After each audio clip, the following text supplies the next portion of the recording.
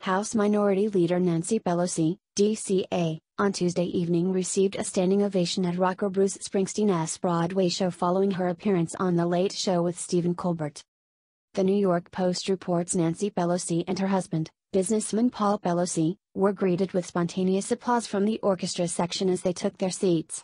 The clapping quickly spread throughout the main floor and balcony of the theater, the paper says.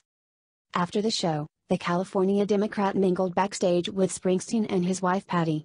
Springsteen, a lifelong liberal, has previously criticized the President Donald Trump's administration and agenda, calling the separation of illegal border crossers from their children disgracefully inhumane and un-American.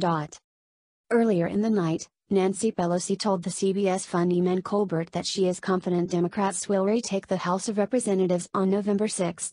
Democrats will carry the House, she told the comedian. If we have a bigger victory, the Senate, governorships. It is going to be a great night for America. Democrats will carry the House. If we have a bigger victory, the Senate, governorships. It is going to be a great night for America, Pelosi added.